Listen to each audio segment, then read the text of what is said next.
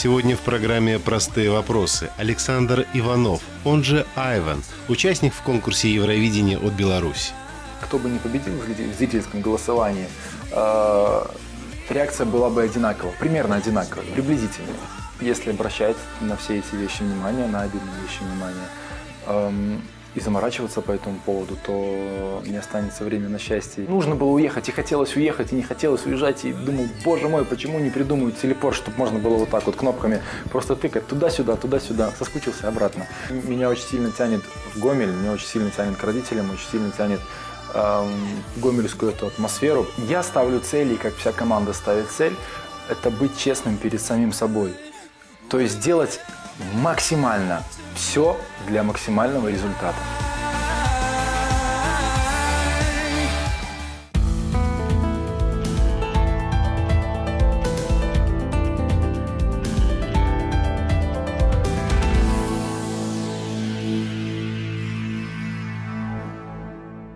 Саша, добрый вечер. Добрый Большое вечер. спасибо, что нашли возможность Вам э, спасибо. побеседовать.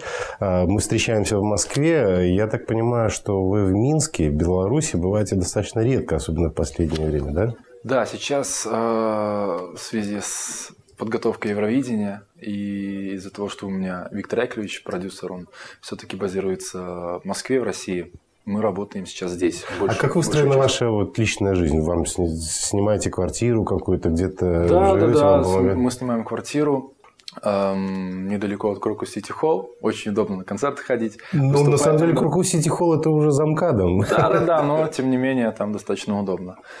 Вот, там мы базируемся, там мы... А мы базируетесь, ну, вы же не живете с Виктором Яковлевичем? Не, нет, я имею в виду про то, что мы, он базируется в Москве, и мы работаем в Москве сейчас.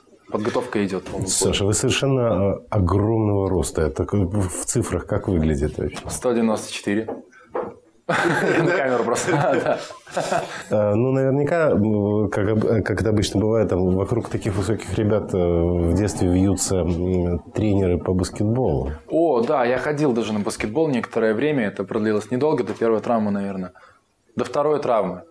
Я как-то ногу не- неправильно, неправильно приземлился и повредил ногу. Но если вот сейчас так дать мяч, получится забрать? А легко. Даже с удовольствием, очень хочется на самом деле.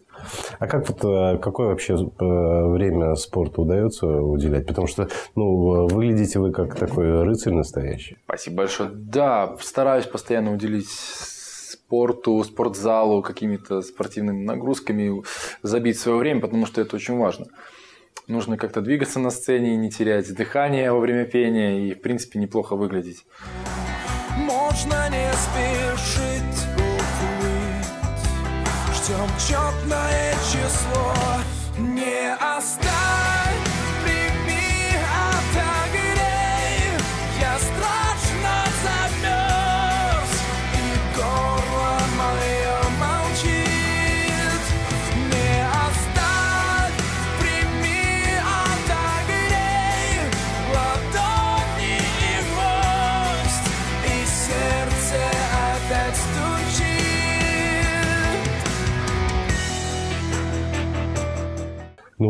выглядите действительно клево.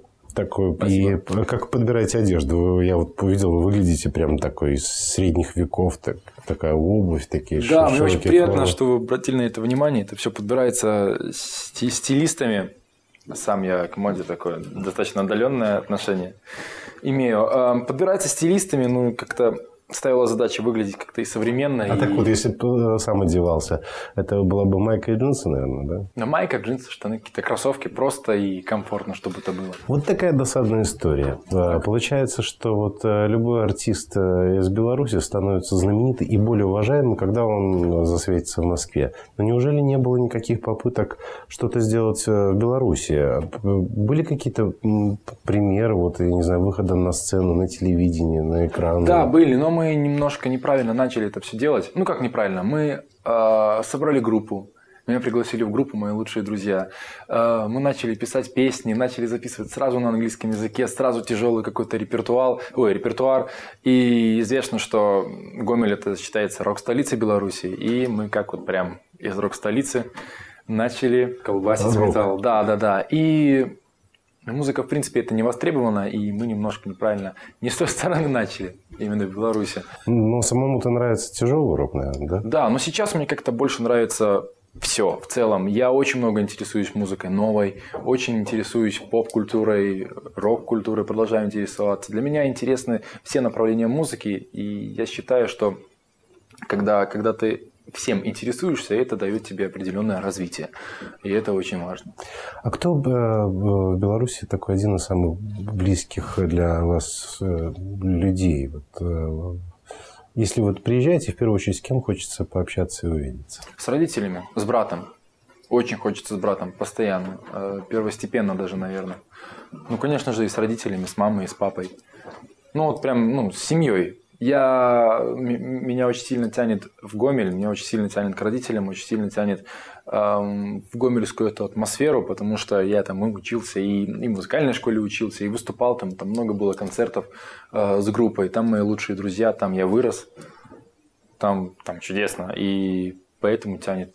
Гомель сильно. вообще удивительный город. Он сохранил вот такую архитектуру.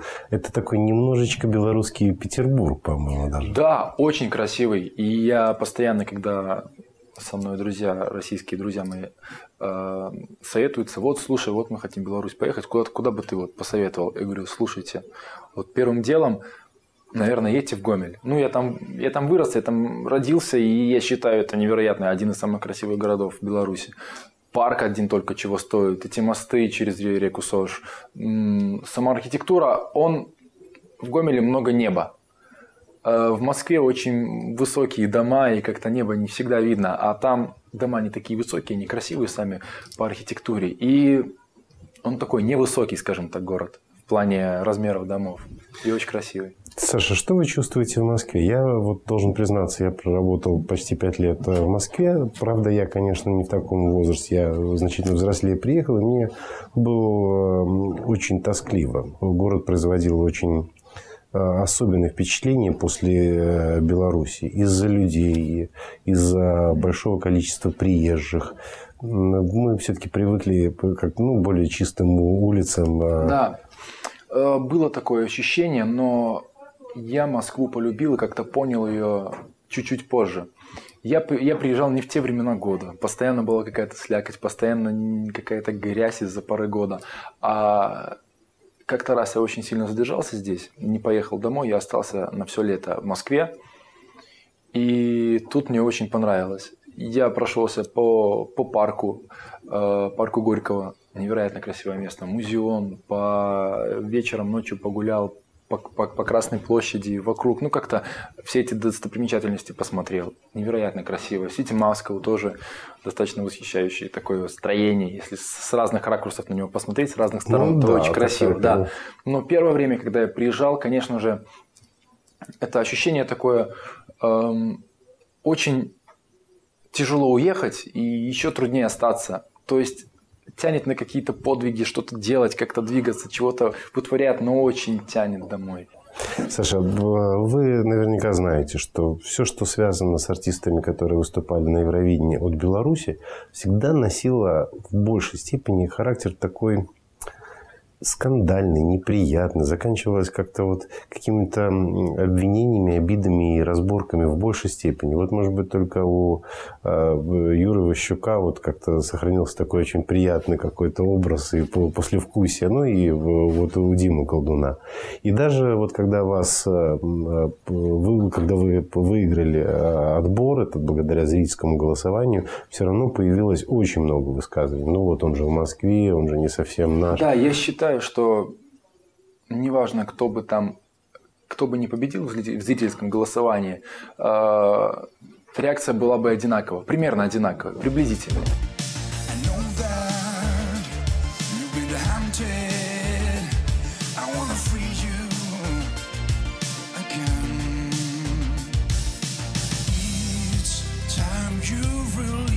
Yourself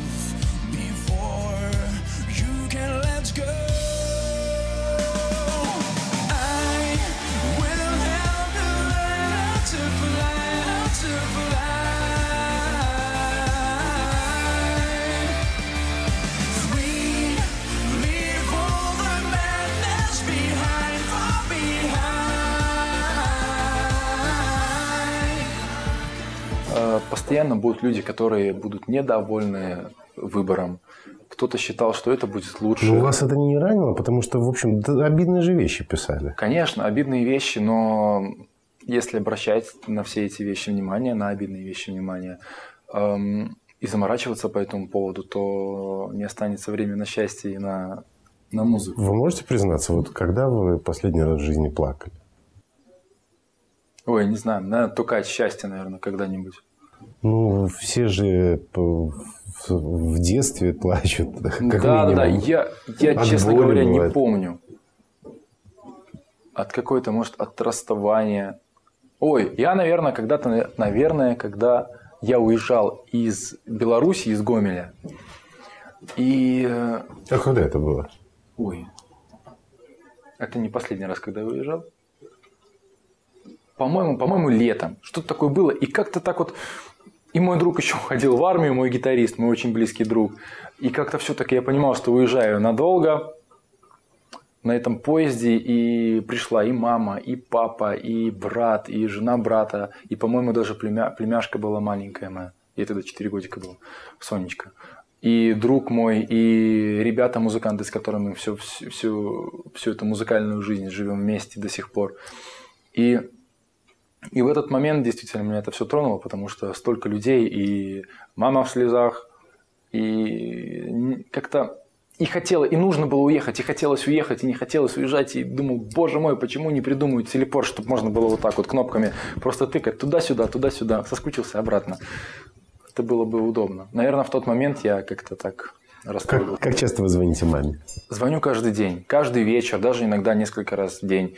Эм, то маме, то папе, то брату. Мы часто созваниваемся. Ну, как-то день прошел, я, алло, мам, и отчитываюсь, и что за день произошло у меня. А она мне рассказывает, что произошло. Вот вчера созванивались, она, вот Сонечку привезли, внучку, ну, мою племянницу, Сонечку привезли. Вот сегодня мы с ней ругалась, почему я купила ей не, не, не три пачки пластилина, а две, ну, то есть такие там отношения.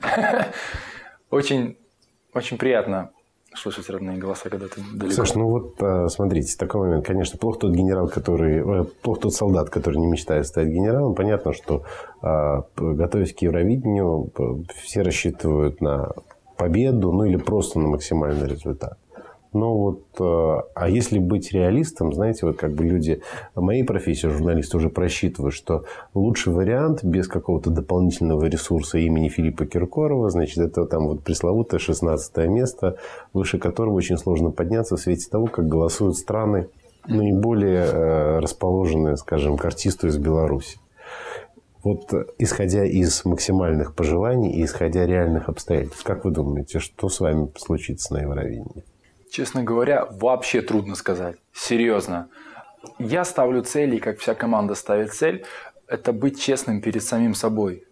То есть делать максимально все для максимального результата.